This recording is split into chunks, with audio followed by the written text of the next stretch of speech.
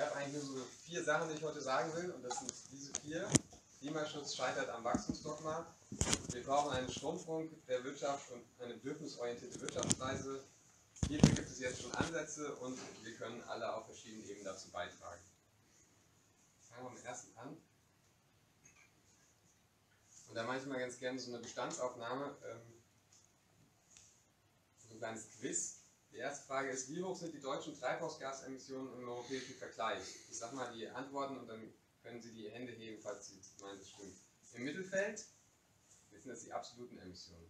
Mhm. Am höchsten, im hinteren Drittel, ich merke schon, ich bin an der Uni.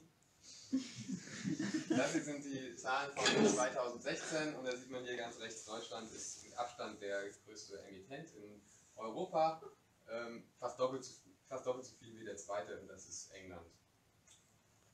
Jetzt äh, kommt natürlich die nächste Frage, sehr unfair, in Deutschland leben ja auch viele Menschen, deswegen ist die zweite Frage, wie hoch sind Treibhausgasemissionen pro Einwohner in Deutschland im europäischen Vergleich? Im Mittelfeld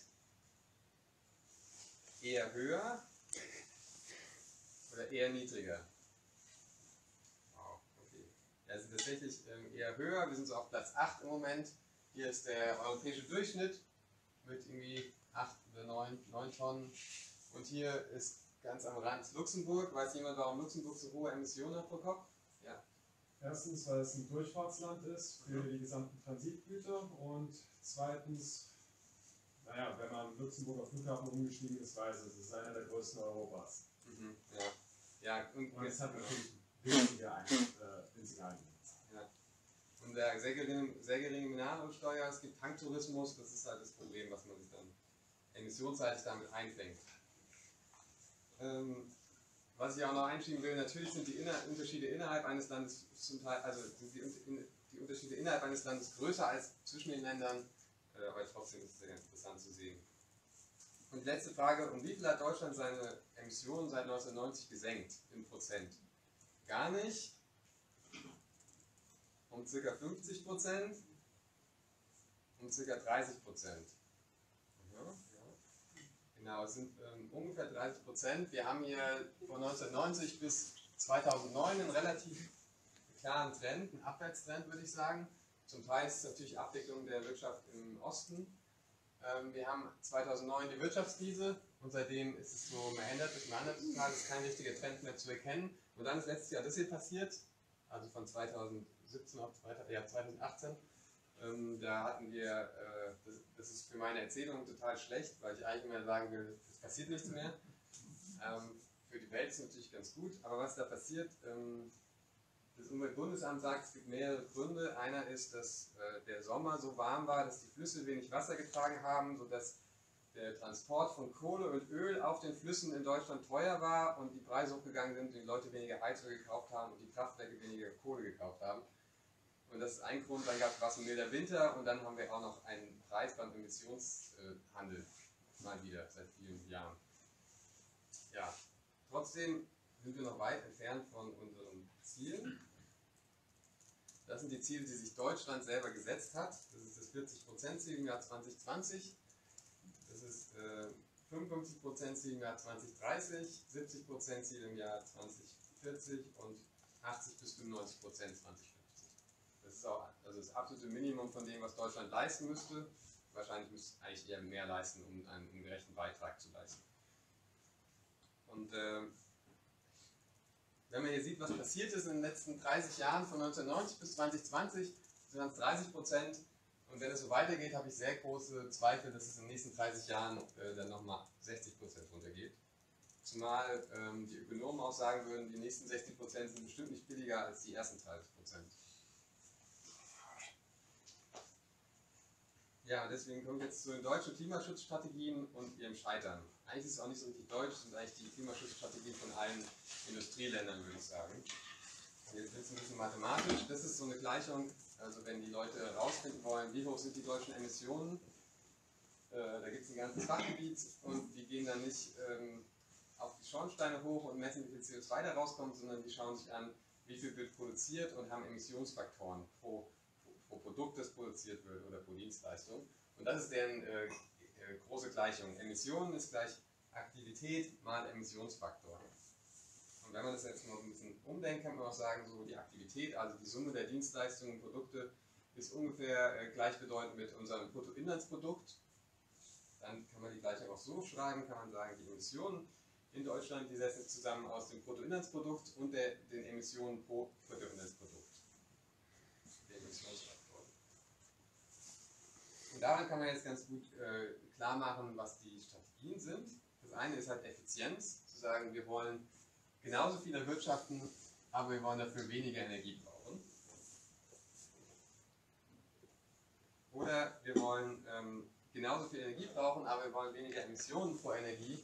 Das ist dann die Effizienz und das ist, äh, nennt man dann äh, wissenschaftlich Konsistenz oder man kann einfach sagen der Energiemix. Und das sind die beiden Strategien, ähm, die verfolgt werden. Ich fange mal an mit der Effizienz, warum das nicht funktioniert. Hier sieht man eine Grafik, das, sind die, das ist der ähm, Endenergieverbrauch in Deutschland. Der, ist quasi jetzt die große Vogelsicht auf, den Endenergie, auf die Energieversorgung in Deutschland.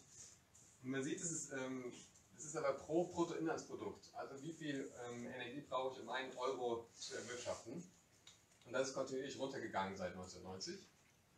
Gleichzeitig ist aber der Endenergieverbrauch im Vergleich zu 1990 nicht runtergegangen. Also es ist eine relativ waagerechte Linie und da ist jetzt nicht so ein richtiger Trend. Und der Grund dafür ist natürlich, dass das Bruttoinlandsprodukt gleichzeitig gewachsen ist. Und das gleicht es halt aus. Also die Wirtschaft, komme ich jetzt zu meinem Fazit auch schon, die Wirtschaft, alles wird effizienter, die Wirtschaft wird immer effizienter, aber der Energieverbrauch wird nicht geringer in Deutschland, weil die Wirtschaft wächst. Oder halt in unserer Formel kann man sagen, dieser Teil sinkt, der Energieverbrauch pro Bruttoinlandsprodukt, aber das Bruttoinlandsprodukt steigt und in Summe ist das dann halt relativ konstant. Also der erste Teil.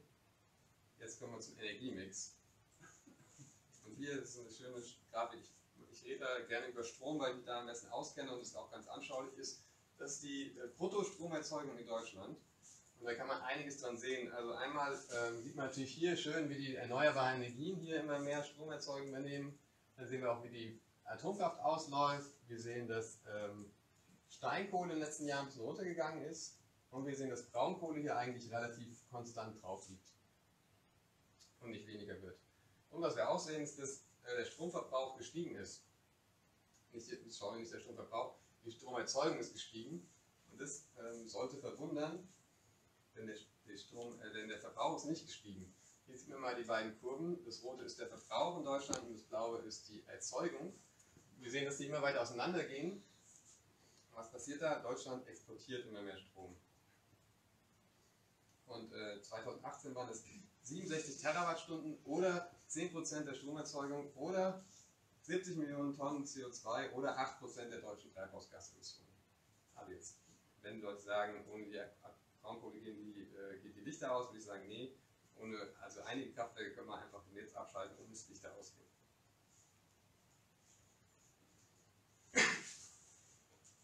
Äh, jetzt dazu auch mein Fazit, Fazit, die erneuerbaren Energien produzieren immer mehr Strom, aber der Strommix wird nicht, die Kohle geht nicht vom Netz, sondern produziert weiter und exportiert und der Strommix bleibt dreckig. Und dann in dieser Grafik ist dann klar, dieser Faktor ist auch konstant und ist das Ganze halt konstant. Und wenn wir mal schauen, was die dazugehörige Klimapolitik, und das war jetzt quasi auch so eine meiner Aufgaben damals, ähm, es gibt eigentlich immer wieder so äh, Vorstöße aus einem Guss, wird dann immer gesagt. Und meistens ist es es gab 2007 das integrierte Energie- und Klimapaket, 2010 das Energiekonzept, 2014 das Aktionsprogramm Klimaschutz, 2016 den Klimaschutzplan 2050 und 2019 gibt es das Klimaschutzprogramm. Das war schon, irgendwann gehen die Namen auch aus. Und das Thema ist eigentlich immer so, dass das Umweltministerium sagt, jetzt machen wir mal richtig was und äh, wir gucken alle Sektoren an und wir machen richtig gute Instrumente da rein und Maßnahmen und es ist dann immer noch so, dass man, ja, könnte ein bisschen ambitioniert sein, aber es sind gute Sachen drin. Und dann geht es in die anderen Ministerien, vor allem natürlich Verkehrsministerium, Finanzministerium, Wirtschaftsministerium. Und dann geht es auch noch in die Fraktionen. Und am Ende kommt halt was raus, was sich immer auf technische Maßnahmen beschränkt. Einen starken Fokus auf Förderung, kaum Verbote, Steuern oder Abgaben, hohe Industriefreundlichkeit und so eine Vorfahrt für Wachstum und Arbeitsplätze. Und unsere Aufgabe war es dann oft auszurechnen, wie viel bringt das denn jetzt noch in Millionen Tonnen? Und dann kam am Ende meistens raus, ja, nicht mehr viel, wenn überhaupt. Ja, und äh, was ich noch dazu sagen wollte zu der Gleichung ist natürlich, dass das eine Problem, wenn dieses Bruttoinlandsprodukt steigt, ist, dass einfach diese Gleichung höher wird. Das andere Problem ist aber auch, dass wir in Deutschland eine, oder in vielen, in den meisten Industrieländern eine Fixierung haben auf dieses Wirtschaftswachstum als Ziel. Und diesem Ziel werden andere Sachen untergeordnet, unter anderem auch die Effizienzpolitik. Also es gibt zum Beispiel die äh, CO2-Strategie bei Pkw, die wird eigentlich schon seit also Jahrzehnten jetzt schon von, von Deutschland und Frankreich torpediert, dass da keine stärkeren ähm, Standards kommen, weil Deutschland eben seine Auto, Automobilindustrie schützt und auch, dass die Braunkohlekraftwerke weiterlaufen und dass da so wenig passiert und so wenig durchgeführt wird, das ist auch der Faktor. Wirtschaftswachstum und Arbeitsplätze, die da befürchtet werden, dass die verloren gehen. Ja, das ist, ähm, ach genau, das war es zu meinem ersten Punkt. Ähm, Gibt es noch Fragen zum, zum Punkt Klimaschutz scheitert am Wachstumsdogma? Ja, da hinten? Ähm, wohin exportiert Deutschland den überschüssigen Strom oder den erzeugten? In die Nachbarländer, ich glaube vor allem im Osten. Aber ich bin nicht ganz sicher. Herbert? Ähm, du meintest, das Bruttoinlandsprodukt steigt. Jetzt mal ganz gesehen, auf den Kopf gerechnet von Deutschen. Ich weiß jetzt, glaube ich, das Bruttosozialprodukt. Ich bin kein Wirtschaftswissenschaftler. ähm, wie sieht es da eigentlich mit der gesamten Geschichte aus? Herr Bruttosozialprodukt? Auch ja. Du meintest das Wirtschaftswachstum, Ja. das Bruttoinlandsprodukt. Jetzt möchte ich das aber auf den Pro-Kopf-Deutschen aus mal runtergerechnet haben, weil wir von 1990, wo wir knapp 70 Millionen äh, Gesamtdeutsche waren, sowohl DDR als auch äh, BRD. Und jetzt sind wir bei irgendwo 86 angekommen. Also mir fehlt da die Relation ein kleines bisschen. Es ist, die Gesamtheit steigt, klar, aber wir hatten auch einen großen Ansturm an neuen Menschen, beziehungsweise okay, Ansturm ist falsch gesagt, unsere Bevölkerungsmasse. Ja, äh, ja ich, hab, ich bin nicht ganz sicher, ob das normiert ist quasi oder nicht. Äh, ich würde jedenfalls sagen, das ist ja dem Klima auch so ein bisschen egal und so in letzter Zeit ist ja die Bevölkerung nicht mehr gestiegen in Deutschland. Also das ist ja, das ist ja so ein Effekt 1990, 1992 vielleicht, aber seitdem. Okay, da war auch was und dann, dann Ja, für Kohle äh, ist ja alles richtig sozusagen Bestand heute, aber für die Zukunft sind doch äh, die, die äh, Ende des Braunkohlebergbaus beschlossen und Steinkohle wird ja auch nicht mehr gefördert. Also stimmt ja für die Zukunft nicht mehr ihre Sichtweise. Ja, also da könnte man jetzt viel zu sagen. Ich würde sagen, ähm, es gibt diese Pläne, die sind halt viel, also die werden dafür sorgen vielleicht, dass wir irgendwann mal aus der Kohle ganz langsam aussteigen. Und ich nehme auch an, dass die Kohlebetriebe alle noch einen goldenen Anschlag bekommen, also irgendwie dafür entlohnt werden, dass sie, das, dass sie aussteigen, wie bei der Atomenergie. Und es reicht aber längst nicht, um diese Klimaschutzziele zu erreichen. Da hinten war eine Ja, die Zahlen zur Bevölkerung, also es sind etwa gut 80 Millionen Menschen inzwischen in Deutschland.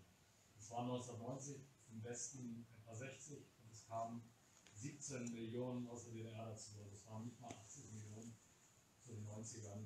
Und die Prognosen waren damals, dass die Bevölkerungszahl eher sinkt. Und tatsächlich ähm, war das auch ganz lange so und dann eine Million Menschen etwa dazugekommen. Also das ist nicht in der Größe, wir sind keine 86 Millionen wir sind 81 Oh, sorry. Und- nee, 86. Zahlen. Okay.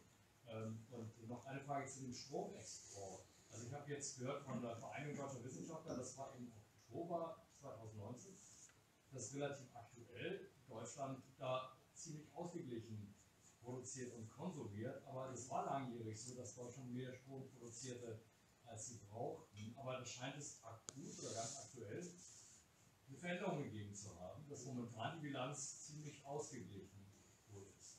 Ja, ich kann mal kurz gucken, wann die Zahlen waren. Da war 10% Überschuss. Ja, das ist 2008, also die sind noch von 2018. Ja, Ähm, neuere Zahlen habe ich noch nicht, aber es ist, war schon, es ist schon so, dass ähm, tatsächlich aus wirtschaftlichen Gründen die Kraftwerke zum Teil nicht gelaufen sind oder weniger gelaufen sind, aber das war eigentlich 2018 auch schon so. Also ich, da kenne ich keine aktuellen Zahlen zu, was da passiert. Ähm, es ist auch so, dass tatsächlich, dass Deutschland gleichzeitig Strom importiert und exportiert, weil es eben aus verschiedenen Richtungen kommt und an verschiedenen Orten gebraucht wird. Wenn man mal eine Illustration zu diesem Energiefaktor, äh, man nimmt ja jetzt verschiedene äh, Warengruppen oder Produktgruppen und rechnet die irgendwie injizieren mit dem Energiemix oder wie? Genau, also es gibt dann zum Beispiel einen Emissionsfaktor für die Produktion von einer Tonne Stahl oder sowas. Und dann guckt man halt, wie viel Stahl wird gewonnen. Das ist eine Möglichkeit. Oder man kann auch sagen, ähm, wir gucken, wie viele fossile ähm, Rohstoffe in, die Fabrik reingehen und dann kann man es eigentlich auch relativ leicht ausrechnen. Aber normalerweise gibt es so für jede Branche so Faktoren für das, was sie produzieren, also Papier oder Chemie oder so. Und dann sagen die halt, wir haben so und so viel Natronlauge hergestellt und dann kann man das ausrechnen. Das ist auch sowas, wo die Branchen quasi die Daten liefern müssen, weil es da keine richtige Verpflichtung gibt. Da, da Wer macht das? Das Statistische Bund? nee, das macht ein Fachgebiet im äh, Umweltbundesamt. Das sind so zehn Leute oder sowas, die eigentlich nichts anderes machen. Okay, dann würde ich mal weitermachen. Wir haben ja nachher auch noch Zeit.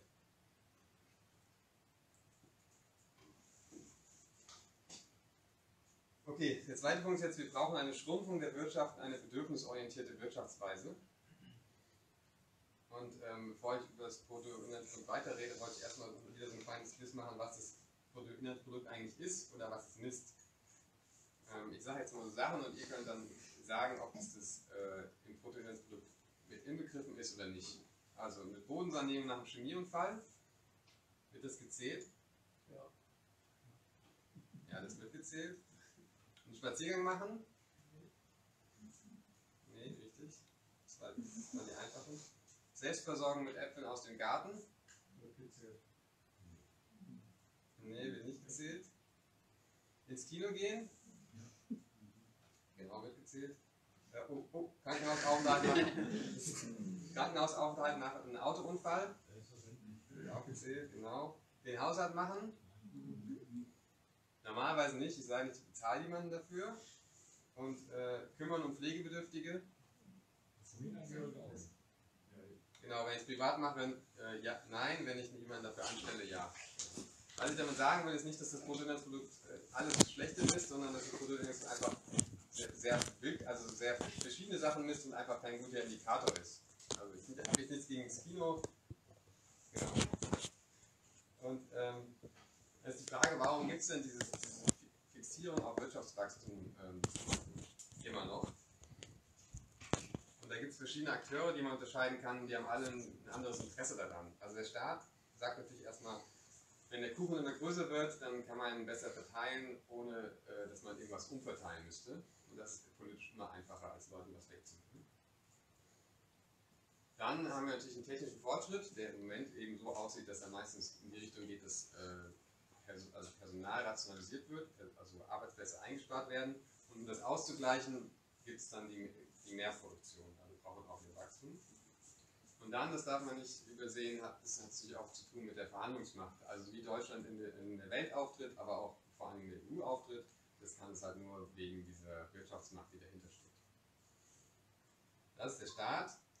Dann die Unternehmen, und da will ich jetzt gar nicht mit irgendwie die Unternehmer sind alle gierig und profitgeil kommen, sondern ich will einfach sagen, die, die Unternehmen müssen halt Profit machen, weil sie investieren müssen, weil sie sonst am Markt nicht bestehen können. Sonst investieren nur ihre äh, Konkurrenten und dann sind die, können die Produkte billiger anbieten und dann gehen sie runter.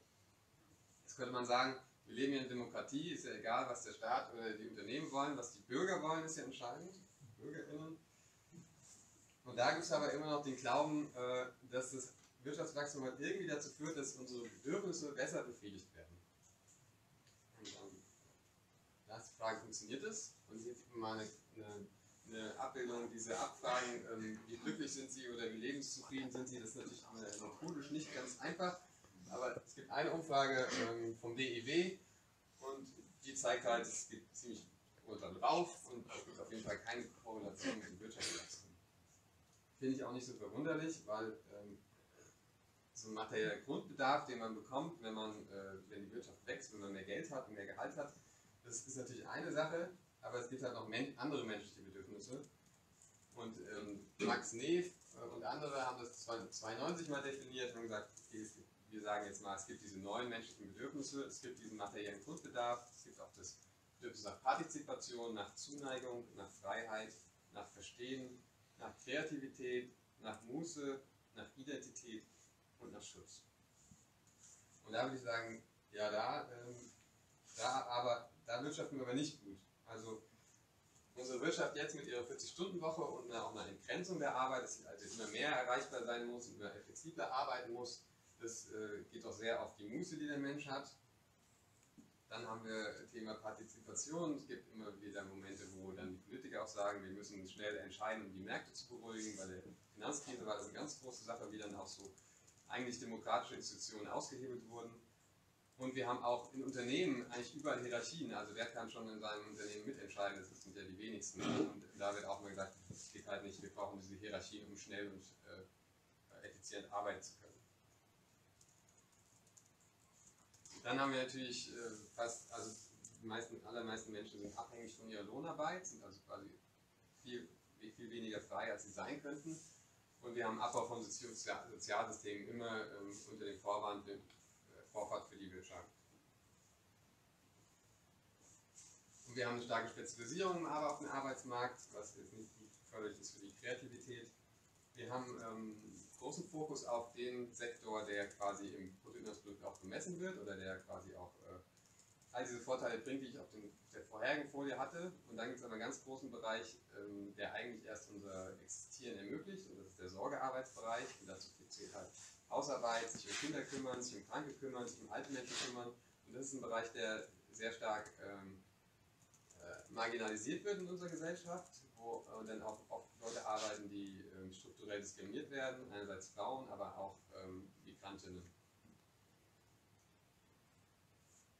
Und dann haben wir eine wachsende Ungleichheit, die wir anscheinend auch mehr oder weniger akzeptieren, weil wir auch sagen, wir dürfen jetzt nicht eine Reichensteuer einführen oder eine große Rentensteuer, äh, eine große Erbschaftssteuer, weil dann gehen die, die reichen Leute mit ihren Arbeitsplätzen in ein anderes Land oder wo auch immer hin.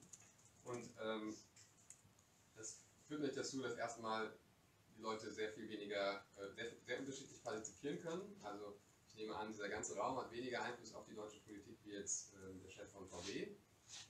Und gleichzeitig ist es auch so, dass ähm, manche Leute in Deutschland haben, haben halt nicht mehr diesen Grundbedarf oder haben zumindest nicht, können sich den Grundbedarf nicht leisten, um an dieser Gesellschaft teilzunehmen.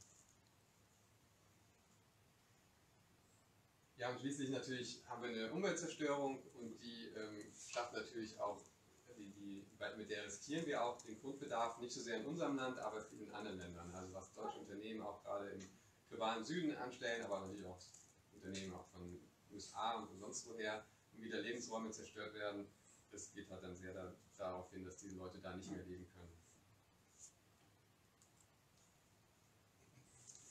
Ja, und jetzt äh, wieder mal mein Zwischenfazit wäre, also, dass dieses Bruttoinlandsprodukt wäre, ist ähm, Bestenfalls trägt es nur noch bedingt zur Befriedigung unserer Bedürfnisse bei. Und ich würde es eigentlich härter formulieren, das, das steht eigentlich äh, der Erfüllung vieler unserer menschlichen Bedürfnisse entgegen, dieses Streben nach Wirtschaftswachstum. Und umgekehrt kann man dann sagen, die Schrumpfung führt nicht zwangsweise zu weniger Lebenszufriedenheit. Da muss man aber aufpassen, das gilt natürlich nicht generell, das gilt nur im Rahmen einer geplanten sozial-ökologischen Transformation. Also nicht Austerität und nicht Rezession, sondern gestaltet, gestalteter Prozess. Und ähm, hin zu einer bedürfnisorientierten Wirtschaft und Gesellschaft, und da will ich gleich was zu erzählen, ähm, was da schon für Ansätze gibt, aber jetzt will ich auch nochmal kurz Fragen zulassen.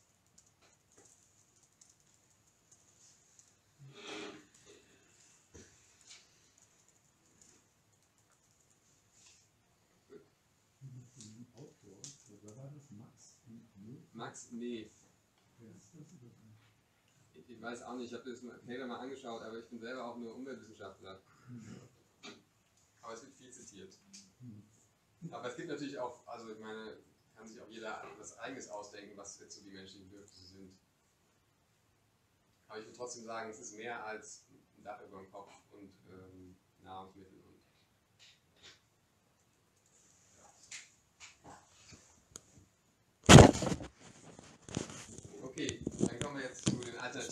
Denn jetzt anders gehen? Ähm, ich habe so fünf Bereiche, fünf, oder fünf, wie sagt man das, äh, alternative Ansätze. Das ist die Gemeinwohlökonomie, ist die solidarische Ökonomie, Commons, Work Wir und Postwachstum Degrowth. Ich würde jetzt über die dicke Drucken was erzählen, die anderen nicht, weil dann wird es noch länger.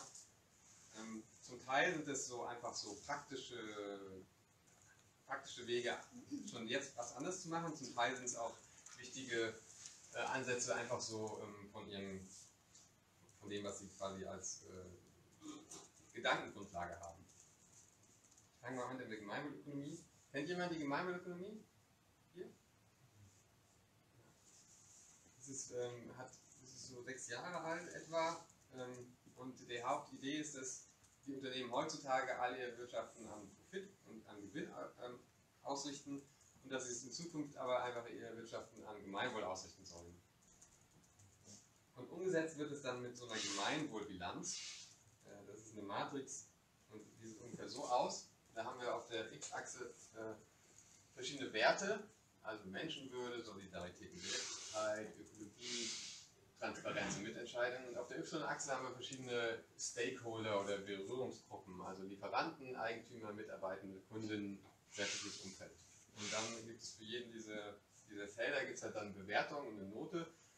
Zum Beispiel ähm, Kunden und Mitunternehmen und Transparenz gibt es eine Produkttransparenz für die Kunden, wissen die, woher die Produkte kommen, wie die hergestellt werden. Oder Ökologie und Lieferanten, sind die Zulieferer eigentlich auch ökologisch korrekt in dem, wie sie produzieren. Und das ist so ein Ansatz, der ähm, in der Praxis schon ganz gut ähm, nach vorne geht. Also es, die Leute können, äh, die Unternehmen können dann sich damit ausweisen und dann bewerben auch gegenüber verschiedenen Stakeholdern. Und es machen schon über 250 Unternehmen äh, und nicht nur so kleine, komische, sondern auch die Sparda Bank München, München, die Diakonie Deutschland, Bioland, Taz, VD und es äh, haben jetzt auch schon einige Gemeinden angefangen, eine Gemeindebilanz zu erstellen. Das ist ein Ansatz. Das zweite ist, äh, ja. Sind da nicht die Ziele relativ subjektiv? Also ich sag mal, äh, diese ganzen Ziele sind ja in vielen Unternehmensphilosophien irgendwo auch enthalten und trotzdem unterm Strich gilt nachher der Gewinn. Genau, also naja, manche dieser Unternehmen haben, glaube ich, wirklich sich als Ziel genommen, ihre Gemeinbilanz zu verbessern und Profit. Ich meine jetzt große Unternehmen. Ja, Also das heißt, die Deutsche Telekom oder ähnliches, die haben alle diese Gemeinwohlziele in ihren Unternehmenszielen mit drin. ja also, also das läuft ja dann meistens unter Corporate Social Responsibility oder so. Da würde ich sagen, das ist halt deutlich schärfer als Corporate Social Responsibility, weil es da weil's von, weil's, also wenn jemand eine gute Gemeinwohlbilanz hat, dann würde ich sagen, okay, der scheint nicht konstant zu sein. Und was die Unternehmen selber in ihre CSA-Dinger schreiben, da würde ich sagen, das, da, da fickt man halt die Sachen raus, bei denen man gut ist und bei denen, bei denen man schlecht ist, die lässt man fallen. Wer führt denn diese Bewertung? Ähm, das kann das Unternehmen selber machen, nach bestimmten Standards, oder es gibt aber auch Leute, die das quasi beruflich machen. Da war noch was? Das ist ja die gleiche Frage. Ich wollte wissen, ob das in irgendeiner Form institutional- institutionalisiert ist. Ähm, oder ob die Leute sich das halt selber aufstellen dürfen. Ich glaube, sie können es selber machen, aber es dann gewisse Standards das machen.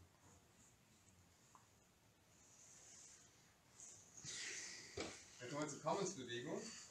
Commons äh, bedeutet so viel wie gemeinsam hergestellte, gepflegte und genutzte Produkte und Ressourcen. Ähm, und das ist eigentlich ein relativ altes Konzept. In Deutschland liegt es auch lange unter dem Begriff Allmende. Da ging es aber dann um Landflächen.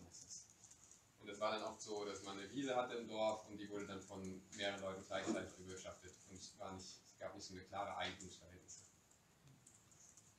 Äh, in der letzten Zeit oder in den letzten Jahren es sehr, hat es sehr viel Aufmerksamkeit bekommen, weil es jetzt auch viele digitale Commons gibt, zum Beispiel Wikipedia oder freie Software. Hier sind mal so zwei Beispiele. Das ist so ein jahrhundertealtes Bewässerungssystem in der Schweiz, das gemeinschaftlich äh, genutzt wurde. Oder hier das Creative Commons Logo. Wenn das irgendwo drauf ist, dann ähm, ist es quasi ein Commons. Hm. Und was äh, die Bewegung ausmacht, ist so ein, ähm, es geht ja nicht nur darum, so gute Regeln zu finden, wie man mit gemeinsamen, mit kollektivem Eigentum umgehen kann. Also das gibt es auch und da gibt es auch gute Erkenntnisse. Also es gibt ja diese Idee des Tragedy of the Commons, ne, dass wenn irgendwas allen zur Verfügung steht, dann wird es äh, zu Tode ausgebeutet. Und die sagen, nee, das stimmt nicht. Es, braucht, es gibt ganz viele Beispiele in der Menschheitsgeschichte, wo das funktioniert hat. Und wenn es funktioniert hat, dann waren, hat immer das und das und das und das äh, war richtig. Ja, was, um was denen aber auch geht, ist ein, so ein Spruch mit der Exklusionsdrücke des Eigentums. da wird sehr viel ähm, dieser Unterschied aufgemacht zwischen Eigentum und Besitz. Die sagen halt, Eigentum ist, wenn ich was äh, veräußern kann und wenn ich, also wenn ich es verkaufen kann und wenn ich auch Leute davon ausschließen kann. Und Besitz ist, ist wenn ich, wenn ich selber nutze und mich auch darum kümmere. Also wenn, sie, wenn, wenn ich meine Wohnung miete, dann mit- besitze ich diese Wohnung, aber ich bin nicht der Eigentümer. Und sagen, die, die Leute, die etwas besitzen, die sollen darüber entscheiden. Und nicht die, die das Eigentum daran haben. Und ähm, die kritisieren halt auch dieses ganze Konzept des Äquivalenttauschs. Also unsere ganze Gesellschaft ist ja darauf aufgebaut, aufgebaut dass wir, ich, ich gebe dir irgendwas und gebe dir was für was zurück. Und, ähm, da gibt es diese schöne Geschichte in der Volkswirtschaft, ähm, die erzählt, dass das halt quasi wie automatisch sich ergeben hat. Und dann wird halt gesagt, ja, es gab am Anfang den Schuhmacher, der hatte Schuhe, und dann gab es den Bäcker, der hatte Brot, und dann haben die getauscht, weil der eine wollte Brot, der andere wollte Schuhe, und dann hat es toll funktioniert. Und irgendwann wurde es aber kompliziert, weil der, ähm, der, der Schuhmacher, der Brotmacher wollte noch Schuhe, aber der, der, der Schuhmacher hatte genug Brot, und dann mussten sie eine dritte Person finden, das war dann der Seifenhersteller, und der wollte aber Brot und konnte Schuhe abgeben. Und so wird ganz kompliziert und so lief das, in, also wird halt so erzählt in der Volkswirtschaft. Und dann haben die Leute gemerkt, ah, das ist ja blöd, wir brauchen, wir brauchen Geld, wir müssen Geld erfinden.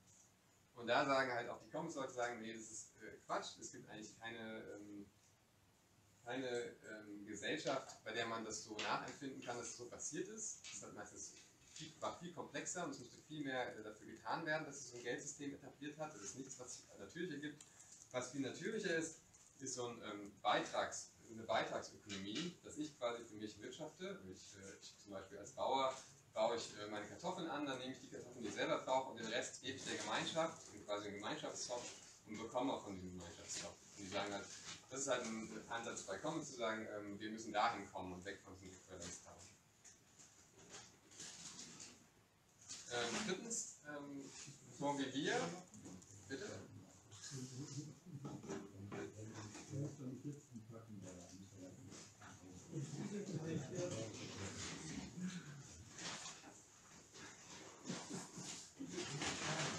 Das ist jetzt ein Ansatz, der kommt nicht aus dem globalen Norden, sondern aus Südamerika. Das heißt, gutes Leben Borrevier hat seinen Ursprung in den Anden- und Amazonas-Regionen.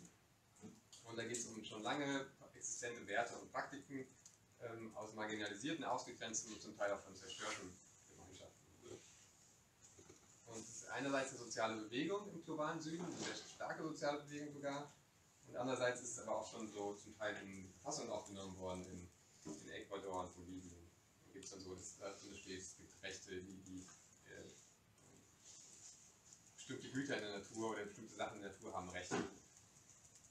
Und was ich daran am spannendsten finde, oder was ich da sehr spannend finde, ist, ähm, dieses, dass sie diesen Entwicklungsbegriff sehr stark ähm, kritisieren. Die sagen halt, wir müssen auch unsere Gedanken dekolonialisieren. Und dieser Entwicklungsbegriff, den haben wir halt alle so stark verinnerlicht, dass wir sagen, okay, es gibt äh, Entwicklung ist irgendwas Positives und wir wissen aber eigentlich gar nicht so genau, was jetzt Entwicklung heißt. Wenn ich jetzt sagen würde, Land A ist weiterentwickelt als Land B, dann würden wir sagen, ja, das ist irgendwie höher, schneller, weiter, mehr, dieses Land.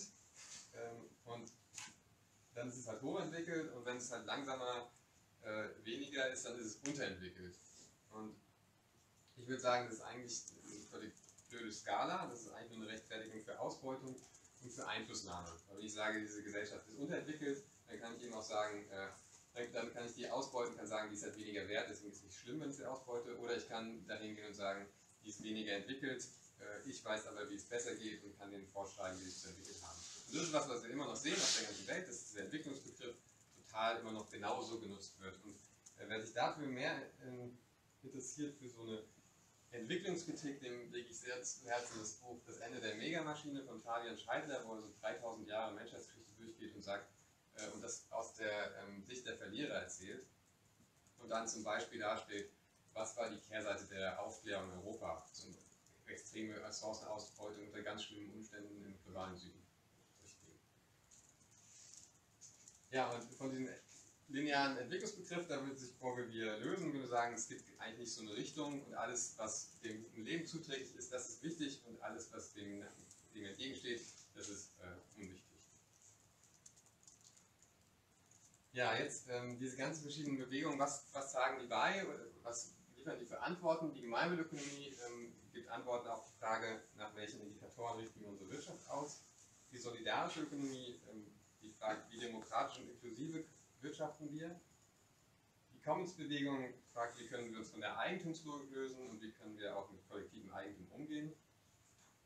Corrivier fragt, wie wird eigentlich Wirtschaft global gerecht und wie können wir uns von gängigen Entwicklungsmodell lösen. Und Postwachstum fragt, wie können wir eigentlich besser leben ähm, ohne Wachstum. Also wie kann das Wachstum in Deutschland aufhören, ohne dass die Sozialsysteme zusammenbrechen. Das zum dritten Punkt. Gibt es äh, Fragen? Ja? Eins, zwei, drei.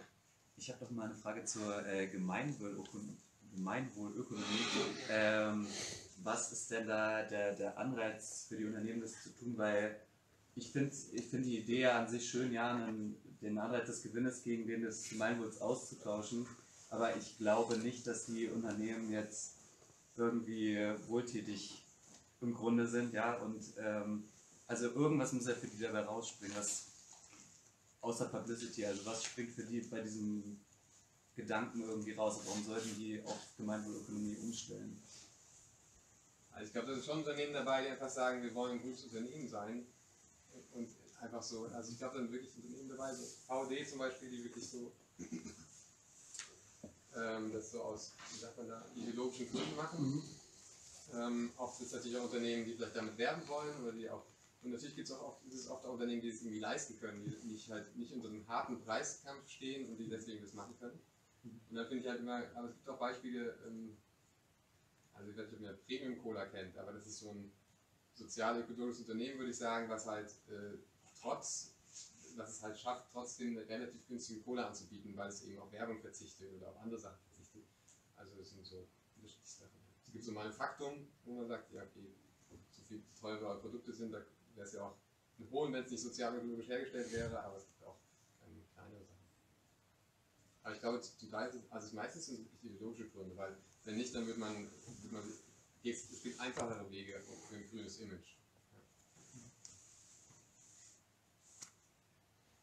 Ja? Ähm, kannst du vielleicht zu dem Deep World, also dem vierten Beispiel, zu dem letzten Beispiel, ganz kurz ein Beispiel noch nennen? Also irgendwie das kurz umreißen möchten, was du dir vorstellen könntest? Mhm. Ja, Ligos hat eine Bewegung, die ähm, zum Teil wissenschaftlich ist, also in wissenschaftliche Richtung ist, aber natürlich auch so eine soziale Bewegung. Und da geht es sehr stark darum, ähm, dieses Wachstum, die Wachstumsfixierung in Frage zu stellen. Ähm, und dann aber gleichzeitig auch zu fragen, was, was steht denn dann im, im, Zentrum, wenn nicht das Wachstum und dann das ist dieselben Antworten, die ich auch schon gegeben habe. Da steht halt das gute Leben im Zentrum. Ähm, und dann geht es darum, wie, wie können wir eigentlich wachstumsunabhängiger ähm, wirtschaften. Ja. Und wenn es da mehr, wenn du mehr Infos willst, gibt eine Seite, die heißt www.degrowth.info und da gibt es eine, eine Mediathek und sehr viel, sehr viel dazu. Es gibt noch eine sehr gute Broschüre von der LS, die heißt äh, Kein Wachstum ist auch keine Lösung. Also mit der Klammer und das eine kein. Die fasst es sehr gut zusammen. Du sprichst die ganze Zeit von Wachstum. Ja. Mich würde mal interessieren, wie in diese gesamte Formel der Wohlstand der Bevölkerung eines oder einer Gemeinschaft äh, einspielt, die nach den jeweiligen Konzepten, die du uns vorgestellt hast, ja, sich widerspiegelt. Du meinst, inwiefern, die, inwiefern es denen besser geht oder ja.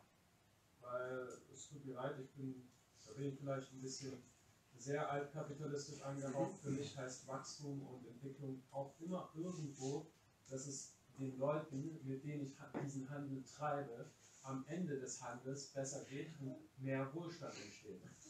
Ja, das würde ich halt stark in Frage stellen. Wenn man sich so die Geschichte des Handels mit dem globalen Süden anguckt, dann würde ich sagen, der hat eigentlich nie, nie von profitiert. Würde auch sagen, wir haben eine extrem gleiche Umverteilung in der Welt und obwohl wir die ganze Zeit diesen Handel haben, ähm, es gibt auch Zahlen zu Armut, dass die absolute Armut, also die quasi die, die absolute Armut hat sich in den letzten zehn Jahren halbiert. Genau, absolute Armut und absolute Hungertode sind zurückgegangen, aber Hunger an sich und Armut relativ gesehen ist gestiegen. Ja, also der, ich würde sagen, der, die Marktwirtschaft macht das, was sie braucht, um nicht kom komplett ähm, menschenfeindlich zu sein, aber nicht mehr. Und sonst hat sie kein Problem damit, dass extreme Ungleichheit oh, das, das, ist aber, das ist aber sehr, äh, sehr, sehr grob gefasst. Ja. Ist, nein, aber das mag sein. Das ist, Ja, ja. Also, darf ich weiter meinen Kommentar? Oder? Ja, ja klar. Also ich möchte mal so sagen, in den letzten zehn Jahren nach dem großen Zusammenbruch der sozialistischen Systeme haben wir ein Wohlstandswachstum in diesen in den ehemaligen Republiken gesehen, der ja, ich sag mal so, rekordmäßig ist. Aber es findet Wenn- Externalisierung statt. Hm? Also Kosten der Umwelt. Also ich glaube, das, wir kommen jetzt sehr schnell in die Debatte, wird die Welt immer besser oder immer schlechter? Ich habe da, sie ist ein bisschen pessimistischer, aber ich kenne auch Leute, die sagen, nee, ich glaube doch alles gut oder wird besser. Und ich glaube, da sind vielleicht ist das ein großer Unterschied zwischen unseren Auffassungen. Okay? Ich wollte nochmal äh, klar herausstellen, dass ich glaube, wir stoßen ja genau an den Punkt, wo sich diese verschiedenen Ideen unterscheiden, nämlich was ist Wohlstand? Und zu sagen, Wohlstand ist Wachstum, ist eben eine relativ eindimensionale Sichtweise, die wir über die letzten Jahre, aber ohne groß drüber nachzudenken, ja fast global angenommen haben. Und das, ist, das zu hinterfragen, ist ja eben genau die spannende Geschichte. Nein, noch?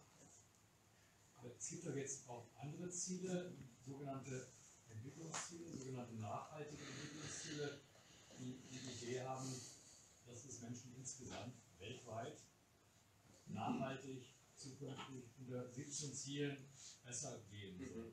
Leider Gottes spielen die in der deutschen Politik keine große Rolle. Aber vom Maßstab her gibt es doch Diskussionen darüber, dass das Bruttosozialprodukt nicht das Maß aller Dinge ist. Ja, also es gibt da sehr viel Prosa dazu, würde ich sagen. Also es gibt ja, in Deutschland gab es auch schon eine Enquete-Kommission dazu, die auch zum Schluss gekommen ist, Wirtschaftswachstum sollte kein, ist kein Ziel, sondern all, all, allenfalls ein Mittel. Aber das hat sich halt in der Tagespolitik überhaupt nicht durchgesetzt. Und diese SDGs, die Sustainable Development Goals, die haben auch das Ziel Wirtschaftswachstum drin tatsächlich. Natürlich stehen da auch, sind auch viele Ziele dabei, die ich sofort unterschreiben würde. Ich glaube, für mich ist das Problem bei denen eher noch so, dass es immer noch so sehr so ein Tenor ist wie äh, den Leuten im globalen Süden geht es schlecht und ähm, jetzt müssen wir Möglichkeiten finden, denen zu helfen oder so. Und es geht nicht so in die Richtung, ich würde sagen, ja, denen geht es schlecht, weil, ähm, weil die ungerecht behandelt werden und an der globalen Norden, sich verändern so mehr. Also es, die SDGs sind schon besser als die Millennium Development Goals, aber ich finde es immer noch sehr, sehr diese Entwicklungsdenke. Also du meinst, das ist dasselbe Denken nach wie vor Ja. Noch kein solidarisches. Da, steht, da ist zum Teil sowas drin, von wegen, natürlich muss sich auch der globale Norden entwickeln. Das ist zumindest mal ein neuer Gedanke. Aber es könnte noch mehr in die Richtung gehen. Ja. Ein schwarzes T-Shirt oder schwarze Pulli? Ja, ähm, es war jetzt in den letzten Tagen viel von dem Friedensdeal für Europa oder auch so dem Friedensdeal geredet. Wo ja schon, soweit ich das verstanden habe, die Idee ist, dass man ja Wirtschaftswachstum mit einer grünen Ökonomie ähm, erreichen kann. Da würde mich einfach interessieren, wie du das bewertest, Ja, das, genau, das ist quasi ja auch die Kernthese von Dikos. Es gibt diese Entkopplung nicht. Also wir können nicht eine wachsende Wirtschaft haben und gleichzeitig ähm, gehen diese Umwelteinflüsse zurück, die Emissionen runter und so. Und da würde ich auch sagen, das zeigt die Empirie. Ähm, natürlich sind in Deutschland die Emissionen gesunken, aber natürlich nicht in dem Maße, wie wir eigentlich hätten sinken sollen. Ähm, und dann haben wir halt auch eine große Verlagerung von Emissionen und solche Dinge. Also ich glaube, ich, ich glaube, es ist eine gewisse Entkopplung möglich, aber nicht in dem Maße, um äh, diese Ziele zu erfüllen. Und es hat irgendwann sein Ende. Und da würde ich auch sagen, warum soll man es entkoppeln, wenn das eine gar nicht mehr strebenswert ist, mehr? Aber das, was du doch vorgestellt hast an der Formel, hat doch quasi als Ausgangspunkt gesagt, die Emissionen, die ich zur Energieerzeugung quasi verbrauche. Äh, die sind doch quasi das, was dann das, äh, quasi den CO2-Verbrauch des Gips quasi erzeugt. Und das hieße doch aber, wenn ich es schaffe, Energie ohne erzeugen, dass dann quasi eben das BIP unabhängig von Emissionen wäre.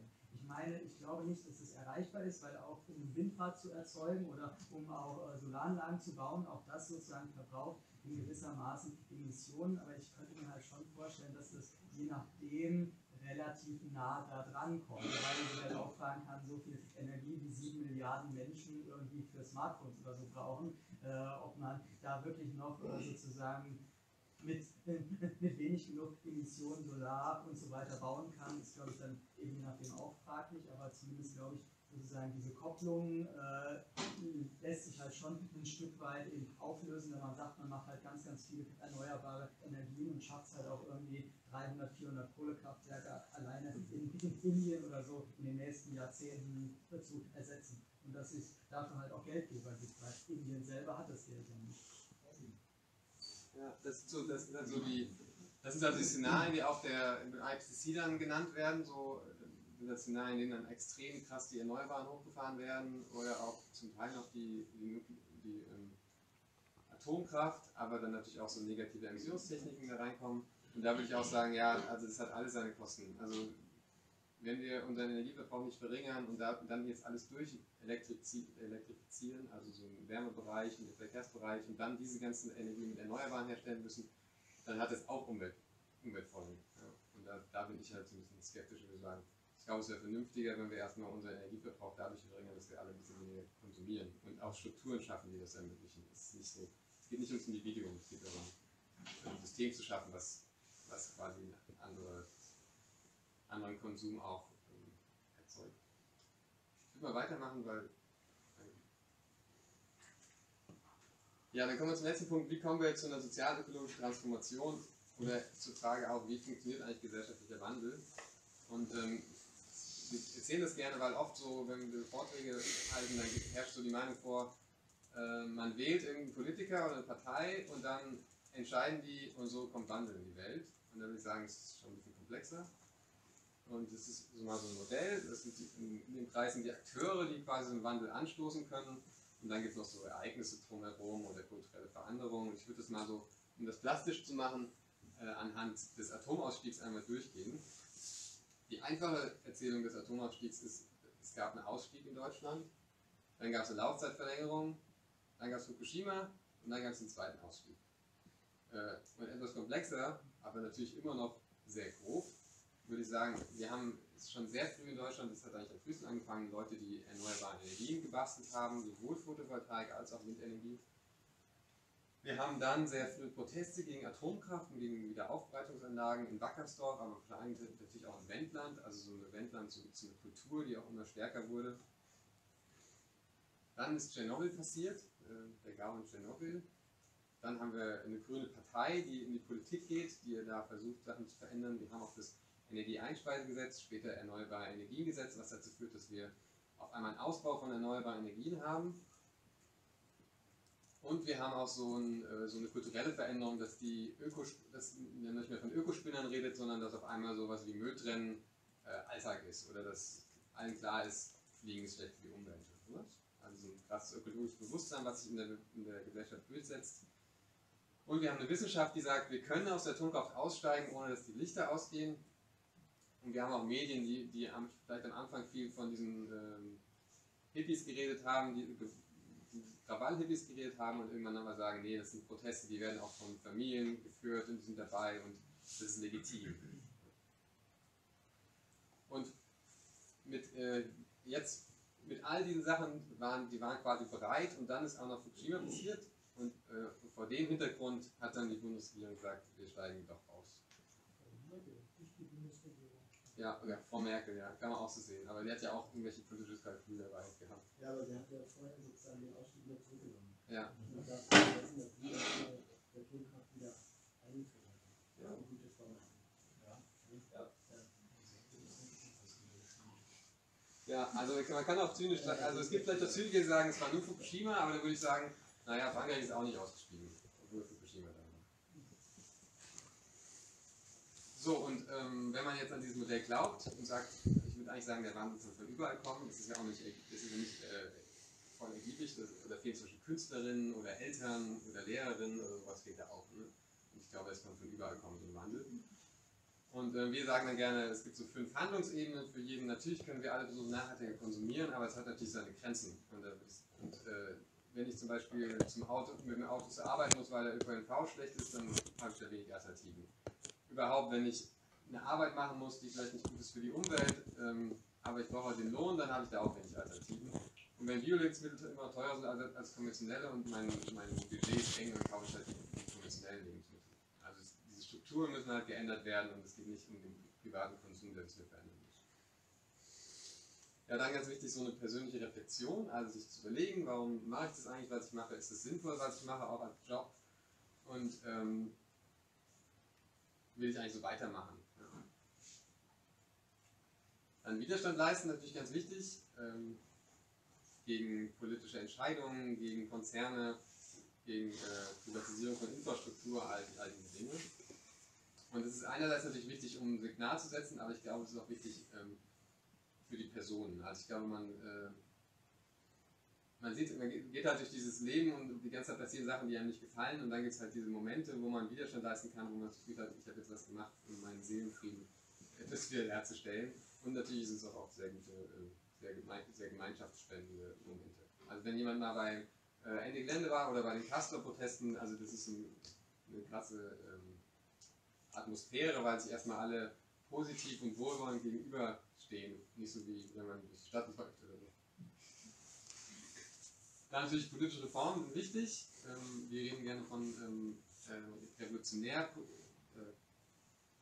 äh, revolutionäre Realpolitik, also Politik, die eher zu einer Destabilisierung führt als zu einer Stabilisierung der Verhältnisse.